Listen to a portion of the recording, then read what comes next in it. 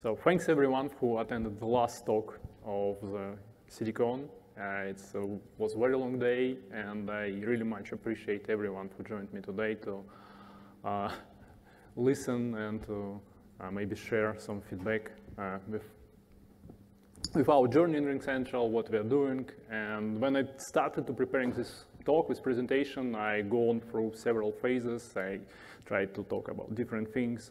Uh, but in my opinion, the most important part is not what you can read in documentation or what you can get online, uh, or I could not give talk about the flags or any other stuff better when the creators of these tools who are present at this conference.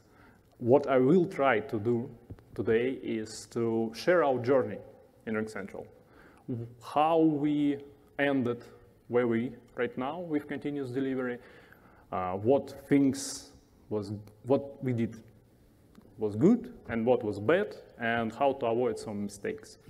So like real life examples, real, real life. Uh, so I will try to do it as a kind of story. So with prologue, reacts, and epilogue. so it will be a little bit more fun than just a regular talk, but we'll see how it goes. So in prologue, I will introduce our actors. The first actor is me. nice to meet you. My name is Ivan. Uh, I'm working in Central from year uh, 2015, but I had a break. I left RingCentral and, and then rejoined, started my uh, working in uh, one of the startup companies. But essentially, more or less, I worked in RingCentral for six years, uh, launched multiple projects, real projects. Uh, I was uh, cast like I was started this project, led them from start to finish. These projects landed in the hands of real customers and with thousands upon thousands of customers, happy customers who are using these projects right now. Uh, I am currently Director of Engineering at RingCentral and my current role more or less is uh, I work on the latest project, on a video project, and uh, I will tell you a little bit more about the company itself. So what is RingCentral? Uh, RingCentral is, uh, I don't know, may, most likely, does anyone heard of RingCentral before? I, yeah, well, yeah. So it's a public company. that's quite a big company which provides so-called unified communication as a service. And um, it's one of our products called MVP, media phone, uh, uh sorry, message uh, video phone. And uh, what it does, it provides to businesses around the world ability to like organize the your communications with outside world and with inside world, meaning all the communication inside the company, like a phone calls, messaging, video conferencing. So messaging things Slack, video conferencing things Zoom, and phone is just the regular telephone system. Um, and the company it's quite, like I said, quite a big, big company. We have global presence around the world. So North America, it's uh, uh, South America, Southeast Asia, uh, and Europe. So we are present almost everywhere in the world. So for example, if you know some of the big companies like AT&T, Telus, Verizon, Vodafone, we, all our partners, uh, we, work, we work very closely with them.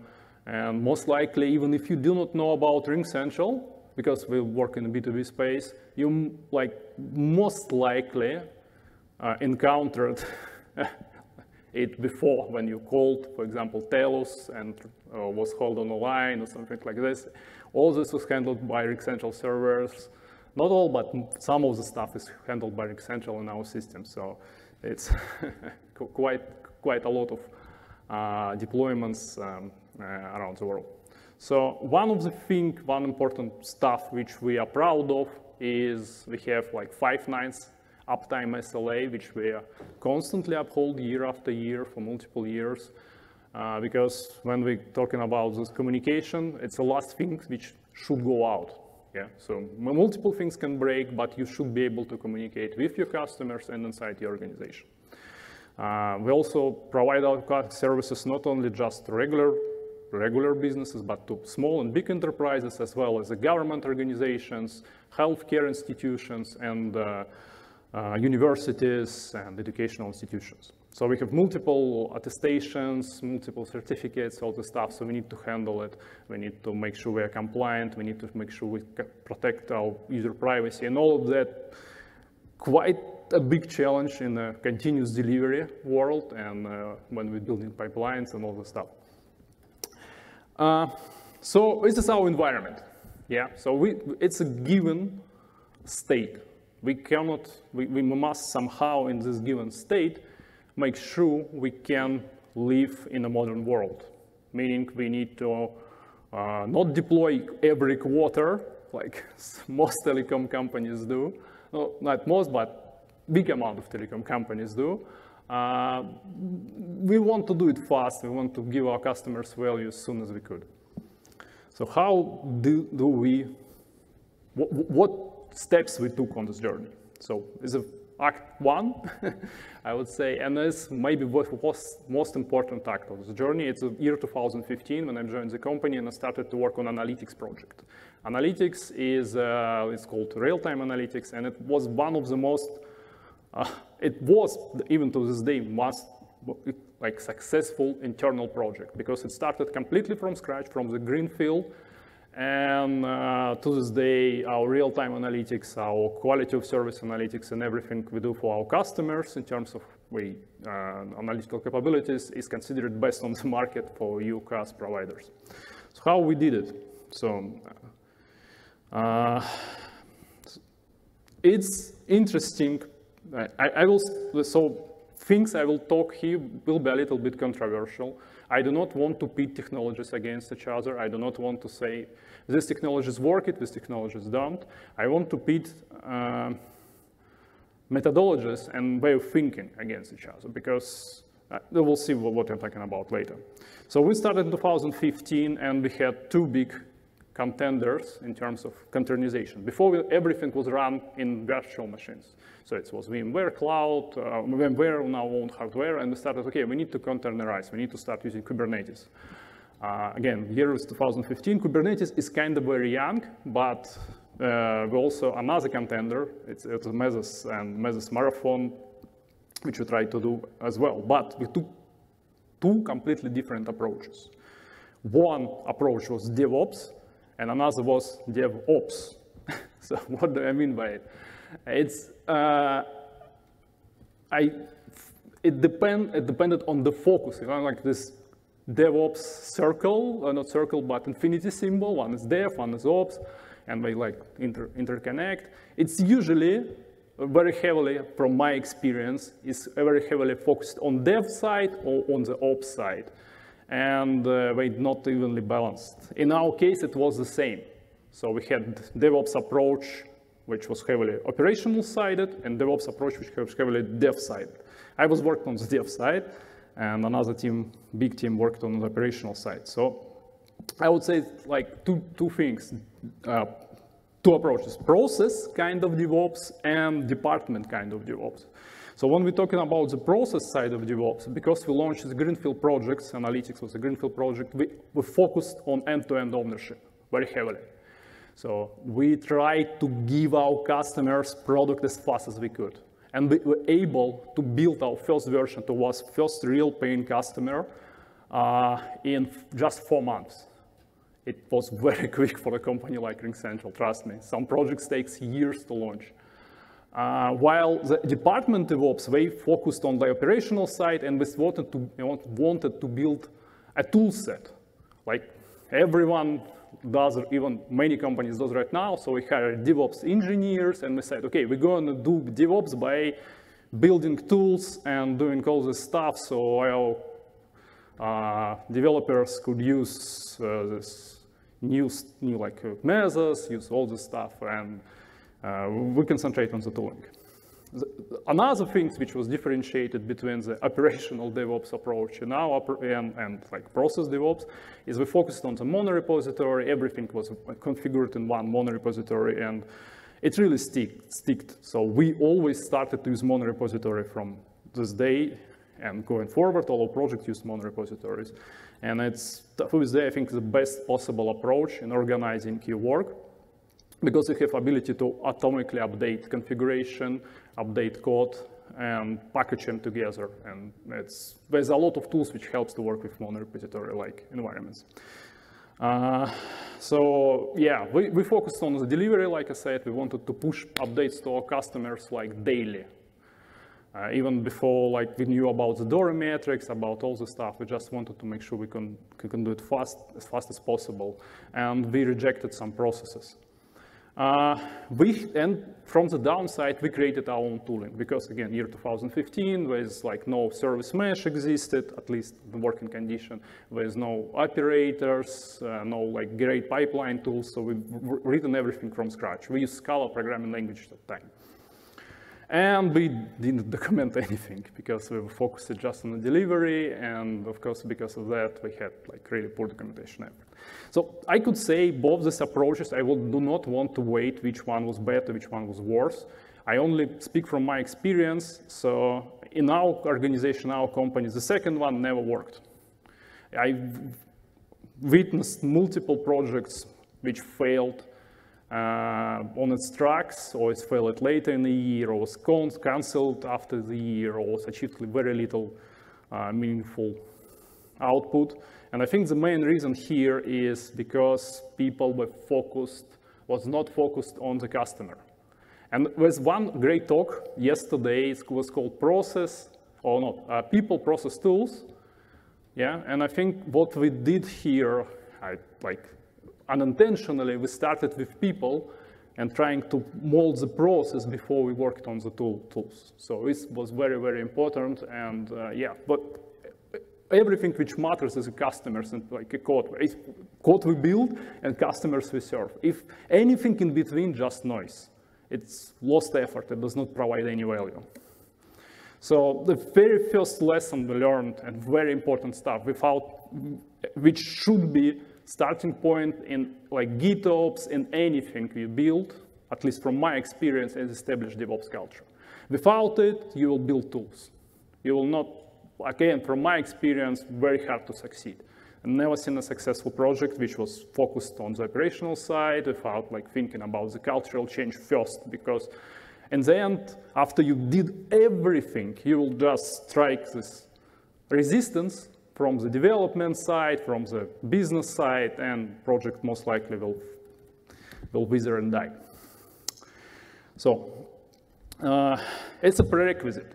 So fast forward, year 2019, and I worked on, like I did additional, additional projects, but I started to work in AI.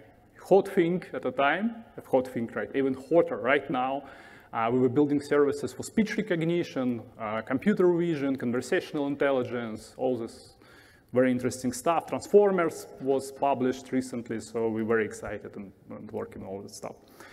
And uh, when we started to do these projects, uh, another big change happened in terms of how we approached uh, our development and what tools we used. And this change was GitOps, and uh, we found out what Flux exists. It was version even one or even zero something, like it's very first version of Flux, the very first version of GitOps. And again, the Spinnaker versus Flux, do not say one better than another, but what we very heavily understood, and it was like this moment of clarity, is we started to think not in terms of pipelines, but in terms of conditions. So I constantly hear in this conference, pipeline, pipeline, we build pipeline, we do pipelines. Uh, I think pipelines are evil. Yeah, so uh, pipelines are very hard to maintain in a real production scenario. Pipelines are hard to build. And pipelines can, pipelines can be uh, really slow. So I, I, can give you an example, yeah, real, real life example from RingCentral point of view, is we have a pipeline, we can build a pipeline. Okay, we started to building a simple pipeline, so we build something, verify it, test it, uh, and then deploy to production, for example, or to, to, to, to production. Simple pipeline, it works.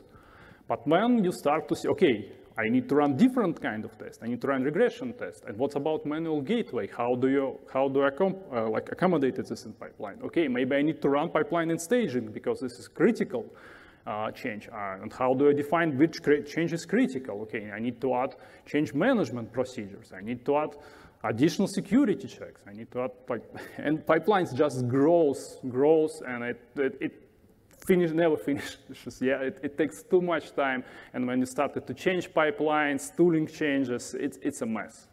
Very hard to reason about. So uh, here, when GitOps appeared and we started to like gather this puzzle, and we started to think about our software as not as a delivery cycle, not as a pipeline, but it, as set of conditions which must be satisfied. So what do I mean by it? I mean, if I want to release, so how there, how does it, yeah? So, and I think this condition is a sliders in my head, yeah? So, and these conditions are equal maybe to, like, equal to requirements, equal to something else. Uh, I, I do not have good name for it. Yes, I went coined it when I'm preparing this presentation. But when you have a piece of software which need to be run on a specific environment, and, I, and here a common denominator is something running, codes running on an environment. In our case, it's a Kubernetes cluster. Uh, we different types of environment for the same piece of code has different conditions. I mean, like in lab, you just need a working code to, to be able to run it. In CI environment or integration environment, it needs to be not just working, but uh, like be at least without crashing bugs or not crashing all the time. Uh, in uh, Canary and the preview release for internal users, it need to pass some security checks, some additional checks, uh, like quality gates, but it not need to be really, really robust. If we deploy, on the other hand, to our customers like partners or, uh, or companies like gas hospitals and healthcare institutions, it need to have very rigorous security, uh, security checks run. And uh, we need to make sure what we run, we do not introduce any kind of backholes and kind of malware. So it takes, takes a lot of effort to do. But every environment has different requirements. And as soon as you satisfy these requirements, you can deploy. So instead of just a pipeline which runs sequentially, right now you only have, like, I satisfy this condition, I can deploy it to this environment. And this changed our way of thinking with GitOps, essentially. So GitOps allowed us to do, to start thinking in this manner. Yeah, so we can, we have Git repository, which has all the environments and all the artifacts on this environment. And now we only need to make, we only need to in, make sure, ensure, basically, what we satisfy conditions. So uh, how we do it, we uh, changed uh, approach, and we're gonna change it again. I will tell a little bit later, but before, few additional pieces, which was very important in this process. The first one is was like a no-brainer. We had talks, we've seen the talks today about the canary releases and canary analysis. And one of these tools which we heavily use for all our stateless deployments is a Flagger. Uh, so is anyone familiar with a Flagger? Okay, so it's, uh, it's a a tool which also developed by Weaveworks, which allows you to basically configure uh, canary releases very easily. very easily configure very easily canary release. Uh, it makes, so it, you can uh, define like canary, red, red, um, red, black, blue, green release types. Uh, you can define the canary analysis routine. And uh, it's why it's important, because when you have this work with GitOps, you really just change the environment, but it does not, you can, already different talks will say today, uh, changing the environment could lead to uh, like problems. So you need additional verification. So Flaggers helps with that. Very important tool, look it out. Another tool which we also heavily use to satisfy the condition is a Testkube. So Testkubes allows us, again, part of the Kubernetes infrastructure, allows us to run tests in parallel in Kubernetes cluster and use API to verify what the specific type of conditions and test was, in fact, was run as an audit trail. So we really launched this test and this test passed and we can rely on this like a requirement, like I said. Uh, we also use Kyverno very heavily because uh, one thing is to have all these requirements uh, set up and have all the audit logs and all the trails uh, about what it was really launched. Another thing is to enforce it. So we use Kyverno to enforce what all the requirements are in fact really uh, per, per, uh, exist on the piece of software we're trying to deploy. So like combining all that, we started to, we, we, like, we were able to change our tooling. Yeah, so we were able to replace one with another. We started to see what the benefits are. We started to work with different types of pipelines. And it's, it, it, it really uh, made everything a lot easier. So an additional thing which is uh, uh, we also was very, very important for us. And uh, I also always uh, talk about it inside the company and trying all our developers, all our engineers to adopt is a hermetic build. So what does it mean? Hermetic build means when you build something in different environments, uh, you always have the same result. So it's essentially hermetic. So I built it on my local machine, I built it on one CI server, I built it on another CI server. I have one artifact with exactly the same control sum. It, uh, first of all, it's very convenient. So you do not have this environment issue, like you can build and reproduce it locally just from the commit. But another very important part here is ability to uh, build it from the security point of view, build the same thing on the multiple environments, because this is one of the security like security checks, yeah, what you need to ensure, what you have like secure build environments, all this stuff. So you can build on multiple environments, and if we have drift of the control sum, we can figure out which environment could be compromised or we, have some, we could have some problems with it. It also allows us to deploy the same build everywhere. So again, uh, like federal agencies, FedRAMP, or institutional healthcare institution, we have very strict requirements where this build could be built, how it built, what environment is used, who has access to this environment. And because of that, uh, when you, if you do not have hermetic build, you can essentially get a different image. And you deploy one thing in one environment, another thing in another environment, and you praying what to the gods, maybe it, because it was built from the same sources, it should align. It's not, not always the case. So hermetic builds is very, very important. For, for that, we're using uh, NixOS for base layer. So it isolates in it on the library level.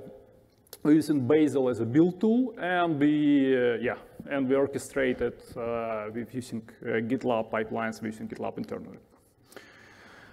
Uh, yeah, so moving forward, today, so right now I'm working on the video project and this is, like I said, why we're using these tools like a Flagger, like a Testkube, which part of the Kubernetes infrastructure, because we have APIs which easily to integrate, which easy to integrate. And when we have these uh, checks, we have to implement our own like way of thinking, how to we integrate it without pipelines, how we call one API calls another, checks is satisfied. It's not, not, as, not, not as easy. but very, very cool thing happened recently. And this is ability to support OCI manifests and uh, ability to sign them. So what I mean by uh, OCI manifest, Flux allows you to package all your manifests into, OC, into a container image, OCI image in this case. And this container image is immutable. Yeah, you cannot, it already contains all the deployments, all the uh, container images you need, uh, all the settings, everything, like secrets, config maps, all the stuff. And then you can sign it. And you can sign it multiple times. So what we do right now to, to satisfy this condition, when we build an artifact using, uh, uh, we build an OCI artifact, when we just sign it very easily. So test passed, we have a signature. Security passed, we have a signature. Even manual QA regression could have, have could sign it. If we have, in some companies, we still have manual verification step. We could sign it. Um, secure builder uh, build the same kind of image. We sign it. We sign it like we can have, we can have 20, 30, 50 signatures on the image. And then one, what we do, we just basically, all our environments are always verify. If image contains all the necessary signatures, it can be deployed and it automatically promoted. That's, it's completely asynchronous workflow uh, and uh, OCI artifacts and cosign simplifies it to the level it's really easy to do and really easy to reason about because you have an audit trail, you have a signature which you can trace and you can trust. Uh, and uh, yeah, so, and you can do it, and different steps in this, in this process, in this condition, do not need to know anything about each other, which is also very beautiful. So you could easily change it. Um, oops. So uh, in epilogue, uh, I, had a different epilogue before, uh, before I attended this conference. This epilogue, epilogue was about TechRadar. So we used and created um, a TechRadar. And what it, what it was, it was um, like, anyone knows about TechRadar? What is it? Okay, no, no, no hands. So TechRadar is, uh, again, really nice things inside the engineering ecosystem. It's a like, it's a circle with different quadrants which are divided into uh, adapt, not adapt, tri trial, etc. And you can easily like move some technologies and say this technologies is good to adapt, this technologies we should deprecate, etc. So we, I, I thought to, like in epilogue talk about the tech radar, but I thought like even now it's not, not as interesting. What is interesting is during this conference I encountered the project called CD events. I never heard about it before. But this project is very heavily resonates with stuff we do ourselves internally. So we're trying to like do this pipe, like delivery. And CD events, it's a specification. It does not have like real implementation, like real, real implementation right now. It's only like POC. But it tries to define uh, this common ground between all the components, common APIs, and how each system in continuous delivery, each part in continuous delivery ecosystem should, uh, what events it should provide, how it should be consumed, etc. So it can be easily integrated into something much bigger. So what I think in our case, in case RingCentral, is yes, we're using signature. It's a very beautiful solution right now, but we'll definitely gonna, going to look into CD events because it looks like finally we're starting to get this level of integration, which does not rely on a pipeline, on a Jenkins pipeline, GitLab pipeline, Tekton pipeline, etc. Yeah, it's just completely independent systems, completely independent tools, which could talk uh, one language between each other. So it's a beautiful solution. So I really, uh, again, it's my recommendation. Go look it out. It's a great uh, project and I think it has very bright future. Okay, so yeah, let's end. Uh, any questions? You make some analog of the yes, in your book? Yeah. Uh, I was uh, yesterday in CD events and look like it's work and now you told how, how you make it in your company. You not use pipeline, you use different uh, environments and build some something for these environments. And I I remember CD events uh, works same. Yeah. Yeah, yeah. So I think uh, like we completely came to this independently. I think it's additionally verifies and uh, says like if we did something in the same manner community trying to move. I think we did the right stuff. So for me, it was very, um, like, I was very excited. It was pleasure for, to, for me to hear what people, like, we did the right thing essentially. It's a validation. Uh, but we build ourselves, but I think you should not, we, we will have CD events, and if you want to move in this direction, I think it's better to take existing tool, and or at least existing approach and try to adapt it. And uh, yeah. Thank you. Thank you. Thank you so much. And uh, also, one, one thing, sorry, uh, because you, if like Vancouver is a really beautiful city and a beautiful neighborhood here. I live in Vancouver, like I said. So I, if you have time, go to, to the hike. It's excellent weather. Uh, you can go to up north to Squamish, hike on Chief, hike on Grouse Mountain, or hike like Eagle Bluffs here on the mountains. It's, it's, it's experience of a lifetime. Thank you.